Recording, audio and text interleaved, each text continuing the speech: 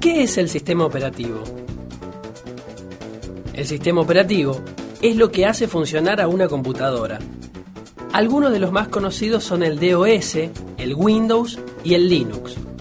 Sin el sistema operativo, las computadoras solo serían códigos. Es más o menos así. Con el sistema operativo, el usuario indica a la computadora qué hacer. La computadora ejecuta las órdenes mediante aplicaciones o programas las aplicaciones y el sistema operativo serían los mediadores entre las personas y las máquinas.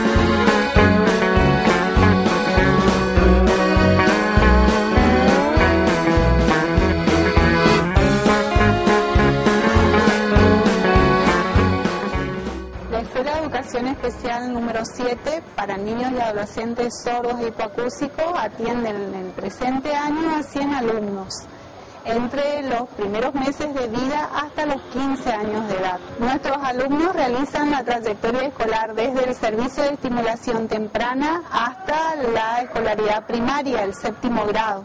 Este salón pertenece al servicio de estimulación temprana.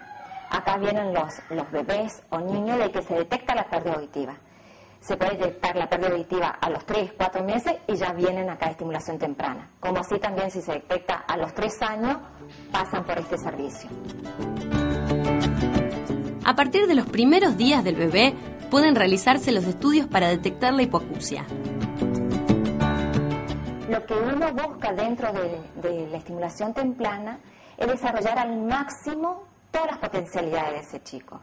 Si bien nosotros tenemos que es un niño que no escucha, pero no solo estimulamos la parte auditiva, sino que trabajamos toda la parte física, cognitiva y psíquica, es decir, desarrollar las potencialidades de ese niño en su totalidad. En estimulación temprana trabajamos con toda la familia a través de entrevistas eh, y en reuniones mensuales donde se trabajan diferentes temas eh, de importancia para ellos, eh, tales como límites, comunicación, juego, todo lo que sea el desarrollo de, evolutivo del niño.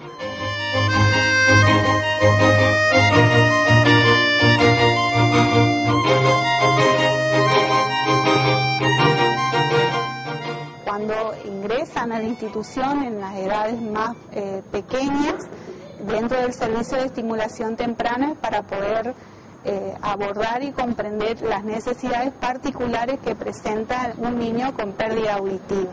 Y este trabajo de contención se da a lo largo de la vida acompañando el desarrollo y las problemáticas que son propias de cada una de las edades de nuestros alumnos. El accionar, diríamos, del servicio está, por un lado, la madre con ese hijo que viene acá al servicio, donde yo trabajo específicamente eh, junto con el niño y la madre, favoreciendo este vínculo, buscando que eh, este vínculo de madre-hijo no se rompa, favoreciendo a través de una comunicación, que eh, sería la lengua de señas.